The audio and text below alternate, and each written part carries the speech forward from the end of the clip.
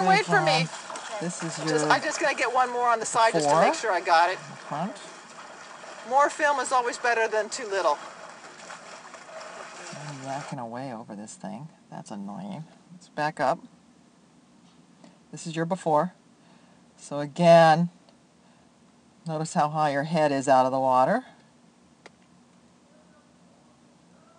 Yeah, see, that's your breathing stroke. You can really see that you're lifting your head and then burying it.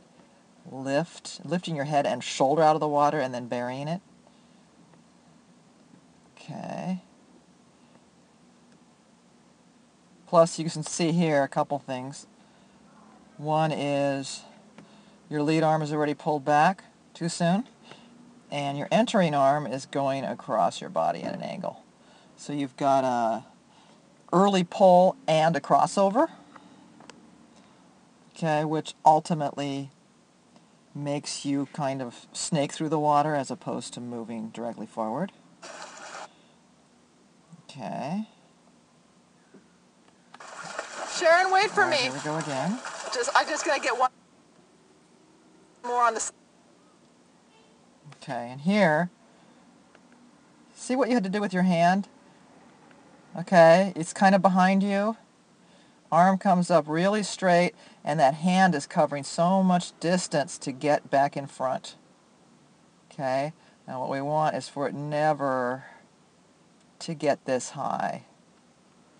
What we want is it to be more elbow out to the side as opposed to vertical and hand hanging down at all times. Okay? On the side just to make sure I got it. Okay, and on this side.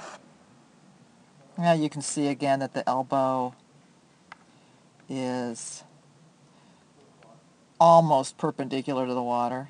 The upper arm is almost perpendicular. That's a little bit strained. It's nicer, more comfortable, helps you balance better when your when your upper arm is just a little more to, uh, to the side.